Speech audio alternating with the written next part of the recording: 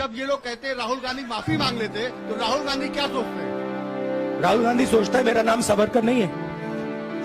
मेरा नाम गांधी है। गांधी किसी से माफ़ी नहीं माँगता। ये मोदी जी पैनिक में आ गए कि बात निकल जाएगी। ये बीस हज़ार करोड़ रुपए किसके हैं? डर गए घबरा गए। इन्होंने पूरा सीक्वेंस शुरू कर दिया। ये विपक्ष को सबसे बड़ा इन्होंने हथियार दिया है। राहुल जी क्योंकि क्योंकि जनता के जनता के माइंड में अब एक सवाल आ गया है। कि जनता जानती है कि अदानी जी भ्रष्ट व्यक्ति है। अब जनता के सवाल, जन- जनता के माइंड में यह सवाल उठा है कि इस भ्रष्ट व्यक्ति को हिंदुस्तान का प्रधानमंत्री क्यों बचा रहा है? यह मतलब अब सब कुछ बीजेपी के लोग, नरेंद्र मोदी जी सब कुछ इस व्यक्ति को बचाने के लिए क्यों कर रहे हैं? दूसरा सवाल बीजेपी के लोगों ने कहा कि अदानी पर आक्रमण, देश पर आक्रमण है। मतलब इनकी माइंड में देश अदानी है और अदानी देश है। बात समझिए। नमस्कार। मैंने आप सबसे काफ़ी बार बोला है कि हिंदुस्तान में लोकतंत्र पर आक्रमण हो रहा है। और इसका हमको हर रोज नए नए उदाहरण मिल रहे हैं। सवाल मैंने एक ही पूछा था।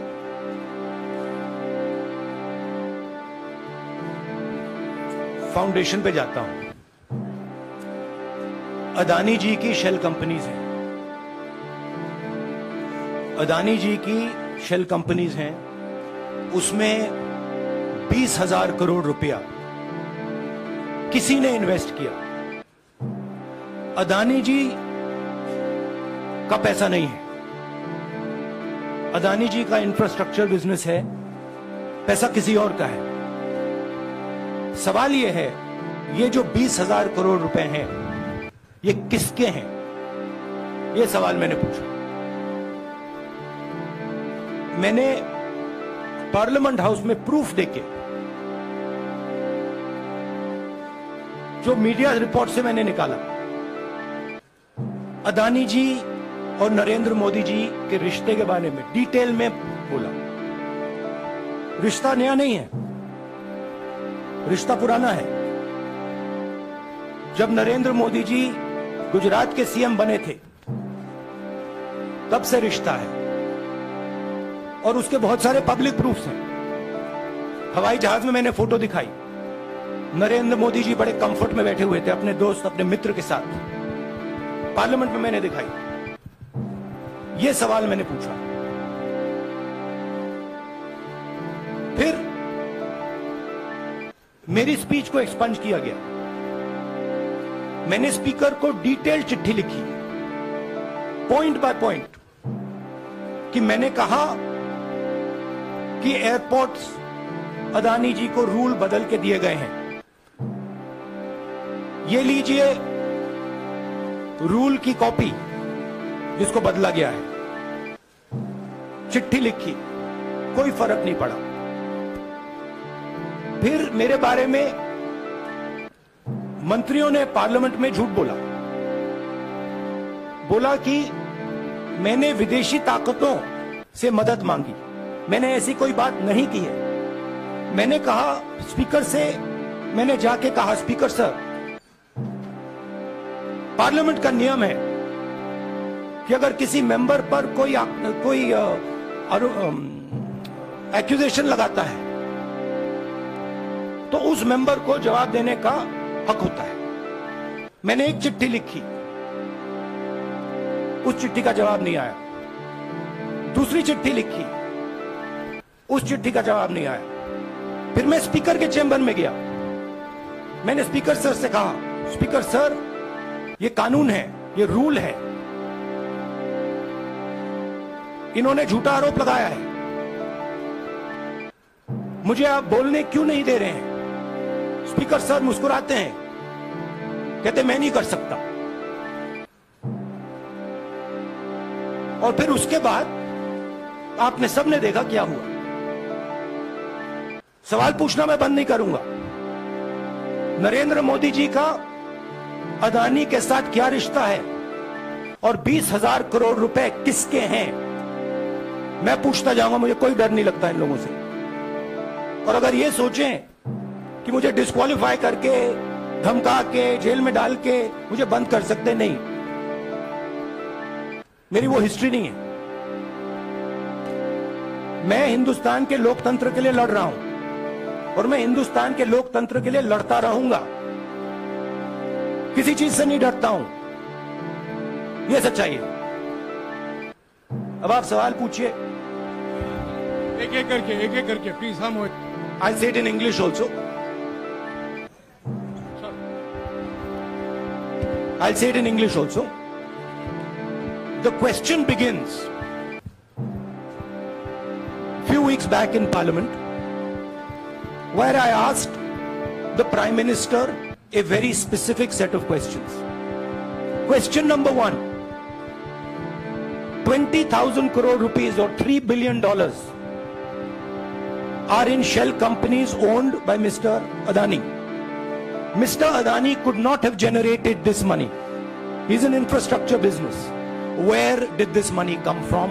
Whose money is it? That was the first question. Whose shell companies are there? These companies are working in the defense field. Why does nobody know whose money this is? There is a Chinese national involved in this. Why is nobody asking the question, who is this Chinese national? That was the first question. Second question was, set of questions with proof were what is the prime minister's relationship with mr adani i showed a picture of mr of the prime minister and mr adani's plane relaxing i gave documentation about the defense industry about the airports about statements made in sri lanka about statements made in bangladesh pictures of Mr. Narendra Modi sitting with the State Bank chairman in Australia. And I put this proof on the table. Immediately after that, the BJP started its work. My speech was expunged. I wrote a letter to the speaker with a detailed explanation on the defense industry, on the airports, with press clippings, supporting documents, legal documents, and said, This is the supporting foundation of my speech. I have not made this speech, I have not invented this. This is detailed research. Here it is. Nothing happened. Nothing was revoked. My speech today is not part of the record of parliament. The same, by the way, was done with Mr. Kharge. After that, BJP ministers lied about me in parliament. They made the statement to distract from the Adani issue. The whole game, disqualification, and all these statements are to distract from the central question whose money is it? 20,000 crores, whose is it? Kiska hai ye? That's the main question. The whole thing is to distract. So, they said that I've asked foreign forces to help India.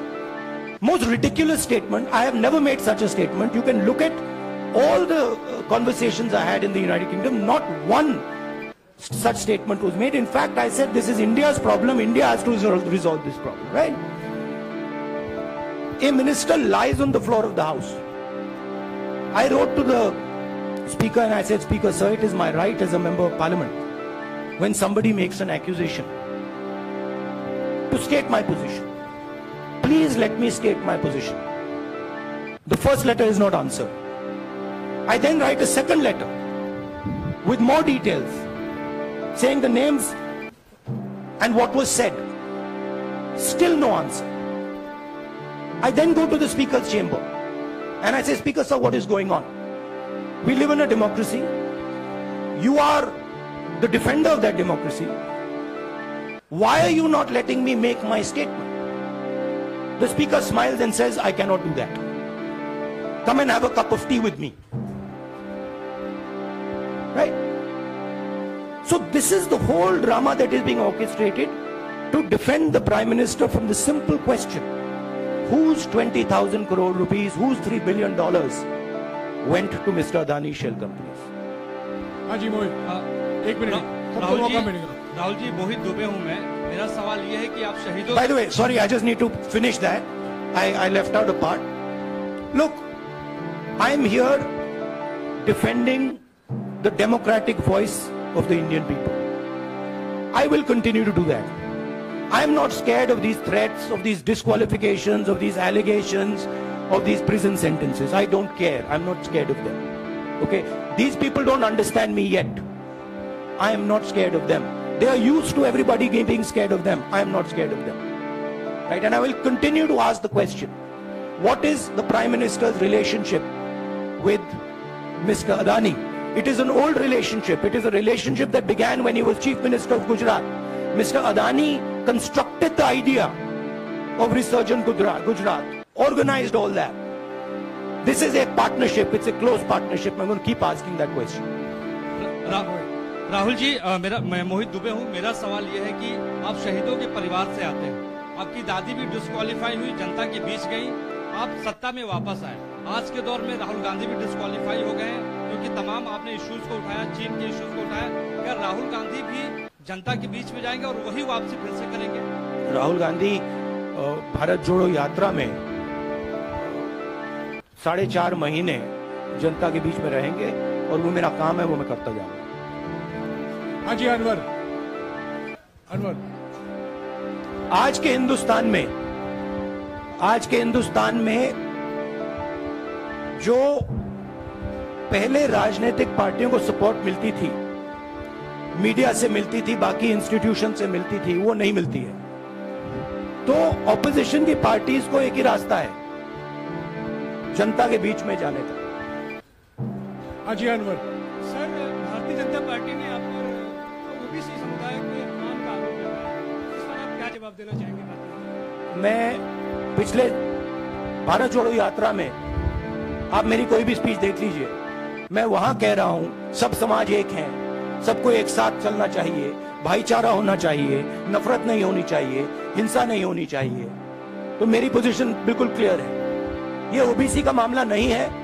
ये नरेंद्र मोदी जी और अदानी जी के रिश्ते का मामला है। बीस हज़ार करोड़ रुपए जो अदानी जी को पता नहीं कहाँ से मिले। उसके बारे में मैं सवाल पूछ रहा हूँ और उसका जवाब चाहिए। बीजेपी ध्यान को भड़काने की कोशिश करती है कभी ओबीसी की बात करेगी कभी विदेश की बात करेगी कभी कुछ और बात करेगी कभी डिस्कालिफिकेशन की बात करेगी। मगर सवाल यही है बीस हज़ार करोड़ रुपए थ्री बिलियन डॉलर्स किसका था? संजय मिश्रा। और वो अदानी का पैसा नहीं हो सकता। संजय मिश्रा।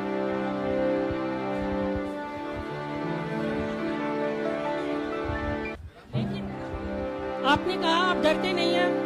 लेकिन स्टेट के टारगेट पे है और स्टेट आपके खिलाफ है पूरी स्टेट पूरी मशीनरी आपके खिलाफ है। ऐसे में आपके सामने चैलेंजेस बहुत बड़ा है तो रास्ता क्या है? रणनीति क्या है? भैया चाहे स्टेट हो चाहे कुछ भी हो मैं सच्चाई को देखता हूँ। मुझे और किसी चीज़ में इंटरेस्ट नहीं है। मैं सच्चाई बोलता हूँ। राजनीति में ये फैशनल फैशनेबल बात नहीं है। मगर ये बात मेरे खून में है। मैं और कोई रास्ता निकाल ही नहीं सकता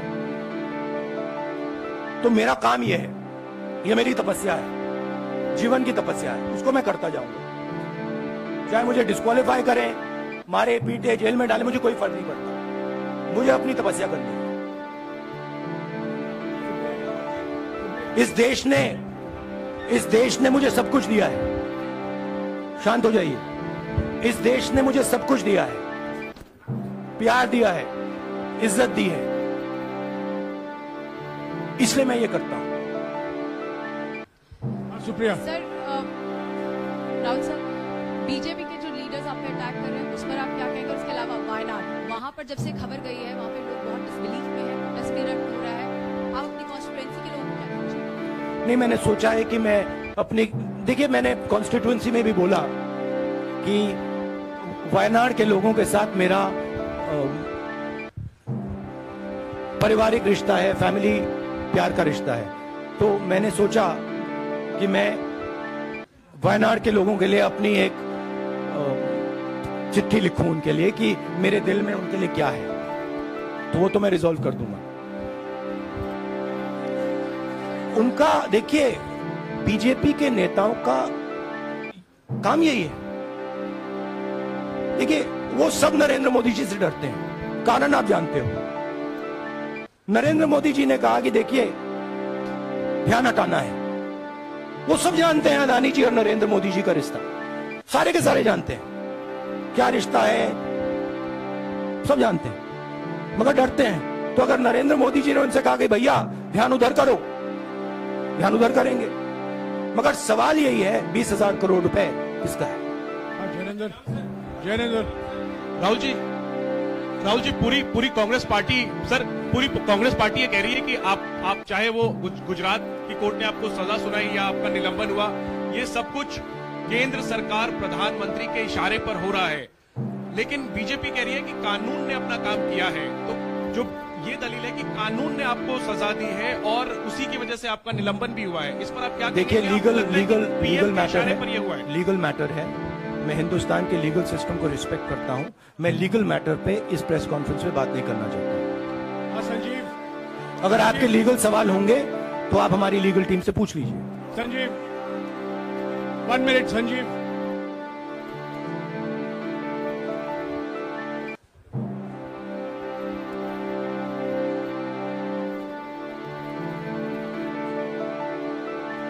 No, look, please, please understand why I've been disqualified. I've been disqualified because the Prime Minister is scared of my next speech. He's scared of the next speech that is going to come on Adani. Right? I've seen it in his eyes. So he's terrified of the next speech that is going to come and they don't want that speech to be in Parliament. That's the issue. That is why, first the distraction, now the disqualification. Please don't be confused about this matter. There is a there is a deep relationship between Narendra Modi ji and Mr. Adani. There is there is a question. 20,000 crore rupees have suddenly arrived in Mr. Adani's shell companies. Where has this money come from? Whose money is it? It is some of these companies are defense companies. Why is the defense ministry not asking this question? Why is the defense ministry not asking the question? But please explain to us who, whose money is this that is being spent on our drone development, that is being spent on our missile development, that is being spent on our ordnance uh, uh, production? Why is the defense ministry not asking this question? हाँ मंजरी मंजरी मंजरी please एक minute एक minute मंजरी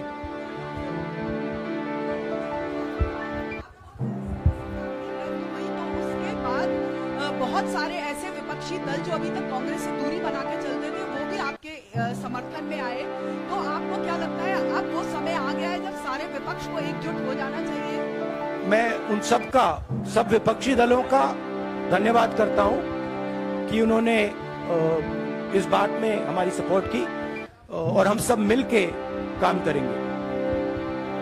रंजीता रंजीता।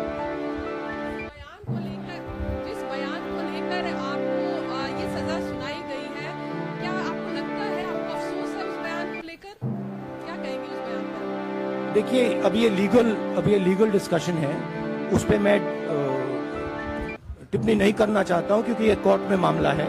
मगर मैं मैं जो भी सवाल उठाता हूँ, वो सोच समझ के उठाता हूँ। हाँ जी, नीरज नीरज, राहुल जी राहुल जी।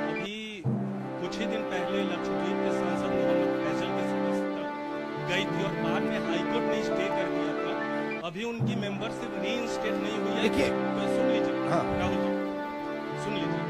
अभी उनकी सदस्यता री नहीं है लेकिन चुनाव आयोग ने चुनाव की घोषणा करने के बाद उसे रोक दिया अगर ऊपरी अदालत से आपको स्टे मिलता है तो आपको उम्मीद है कि लोकसभा स्पीकर भी आपकी सदस्यता को बहाल कर देंगे। मुझे उम्मीद में कोई इंटरेस्ट ही नहीं है। चाहे मुझे सदस्यता मिले ना मिले मैं अपना काम करूँगा।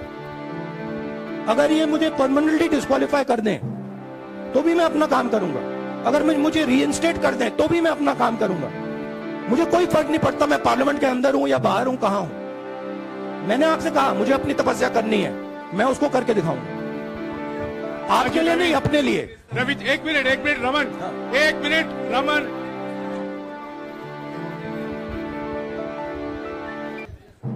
It is not up to me it is up to Congress president कौन जाएँगे? राहुल जी राहुल जी राहुल जी राहुल जी मेरा सवाल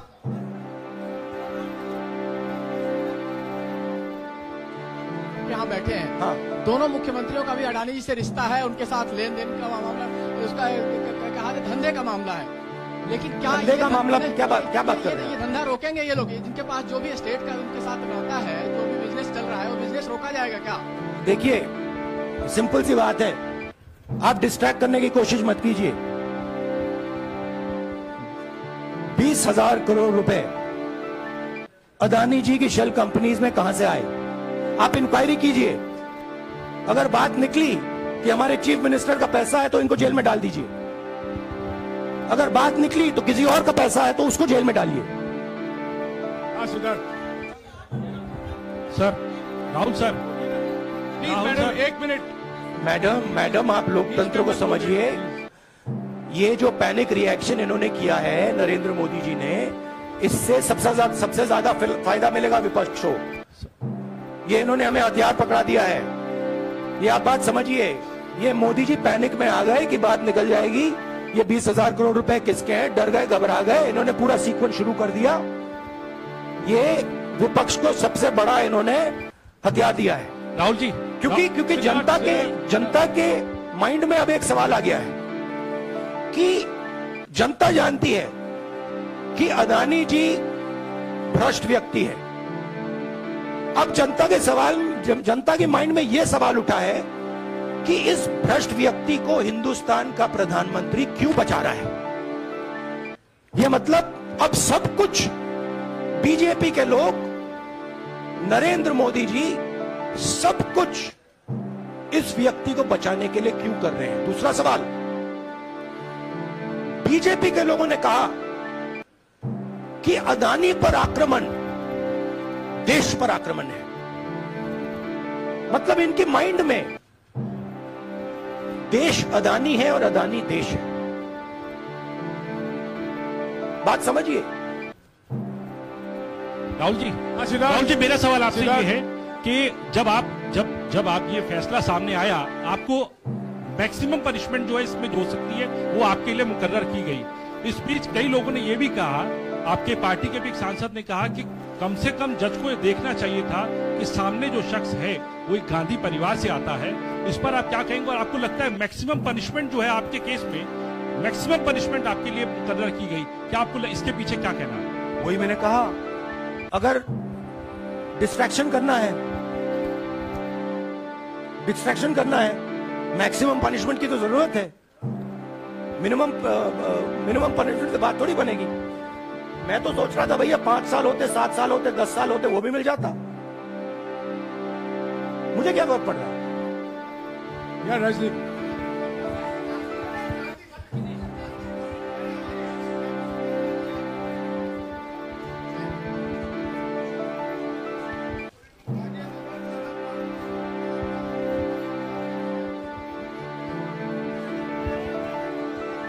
my my i have only one step.